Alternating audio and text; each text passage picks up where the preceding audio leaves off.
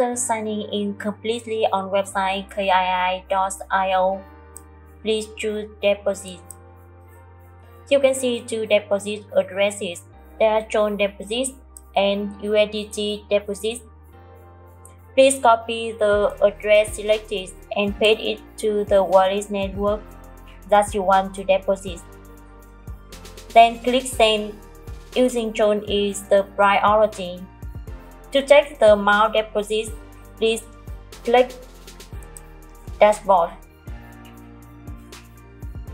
Please pay attention. Maybe there are multiple traffic, so the deposit amount will be displayed within 15 minutes.